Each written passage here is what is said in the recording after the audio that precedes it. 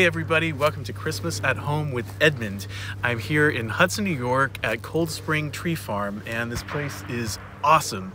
And as you can see, I've got the heavy duty equipment and we're gonna cut down a Christmas tree today. So come along with me and let's see what we can find.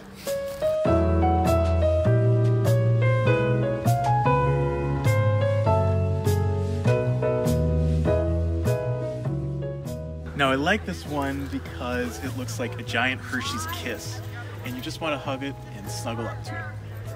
But it's a little too big for our living room, so we gotta keep moving. Okay, so every year this is always the dilemma. Obviously, well, I always want the absolute biggest tree I can possibly get, and unfortunately, our ceiling height is not as big as I would like it to be. So we always end up inevitably having to cut down the top of the tree. So this year, I'm gonna try to be a little more realistic with my expectations of what is going to be in a good tree. So we're going to try to do a little skinnier and not quite as tall, but not too little. Because, you know, you want a big tree. There it is.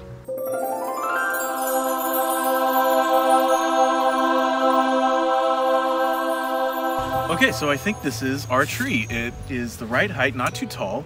Uh, it's decently full, but not too wide, not a big chubby tree. So uh, now for the dirty work. Let's cut it down. This is the glamorous part. It's always around this time that I'm like, you know what? A cut tree from Lowe's is okay too.